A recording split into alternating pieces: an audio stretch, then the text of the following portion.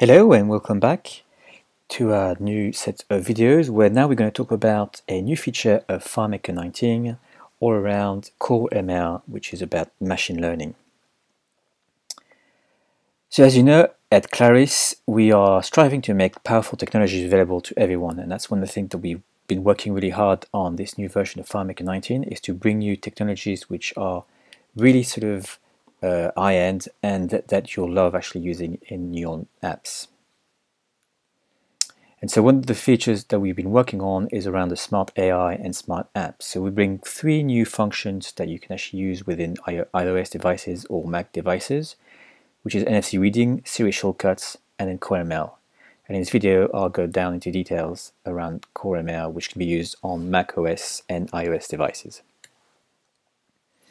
So what we've built basically is a new script step and a new function, which is going to be help get you to use machine learning models within your solution. So the first one that we have is a script step called configure machine learning model, which is for FileMaker 19 only and is supported on macOS and iOS devices. And what it does basically is purely load a core ML, which is a machine learning model, and then lets you use it within the rest of your script. So you'll use these script steps to load the core model into your into your system, and then you'll use the function compute model, which is going to provide you data when it has analyzed the either the text or the image that you've put into a container field. And so this compute model basically is a function that returns a JSON object with all the information that the Core ML model has been able to evaluate. You can use it on two types. You can use it on basic text, which we call general models, or you can do vision where you basically will input uh, give a, an image to your solution and the CoreML will actually uh, model will go through that and try to give you information out of that. So before we before we go any further is what is actually CoreML. If you actually never heard of it, it was actually introduced by Apple a couple of years ago uh, when they launched iOS 11. And CoreML is basically a framework where you're to let a model uh, go through the information you give it and it's going to basically give you answers out of that. So you can use it for um, what we call NLP, which is natural language processing. So if someone speaks, then you can actually have a model that can actually type the information back to you into text. You could use it for image analysis or pretty much any other thing that has come out on the market. So the way it works is you have a model that you integrate in your apps and then you're going to use it and it up uh, through your scripts. Uh, so you have your apps, imagine basically uh, all the technologies that you're looking to actually get, which normally would mean that you would need to get, use big machines, can actually be done on your iOS device or your macOS locally just by using a model. So if you need more information, I'll invite you to actually look at the Apple website. In the developer section, there's the machine learning section where you'll be able to actually sort of understand a bit more about Core ML, uh, have information on models, resources. Uh, the other thing that they have on top on the website is you can uh, read uh, models with CoreML or you can create uh, a model uh, if you want to actually use it specifically. And so within Xcode, you you have the ability to create a model that you'll be able to use eventually in your FileMaker solution.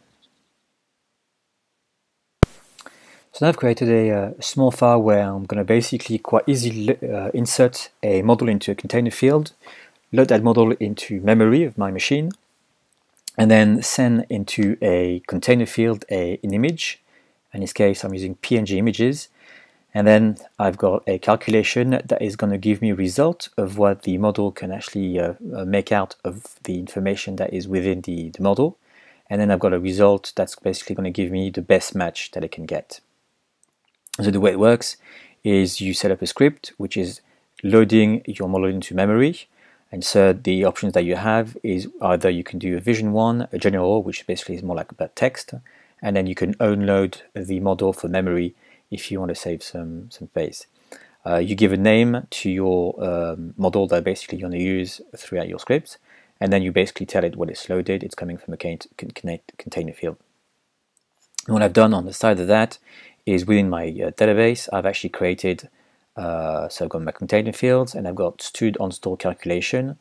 The first one is basically going to give me back all the information that the model can actually uh, analyze uh, from the analysis it's done of the image.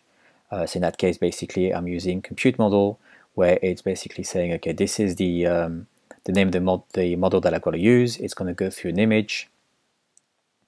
Uh, so that's the type of information I have. This is the container, and then just making sure it's the PNG, and then I'm going to get a result in JSON of the information I get back. Uh, and then I've got another one that is quickly basically going to give me the best the best result that it's getting from the information uh, come back uh, that's coming back from the analysis. So in this case, I'm basically I've got this uh, M model, MM model uh, from the Apple website. It's called MobileNet.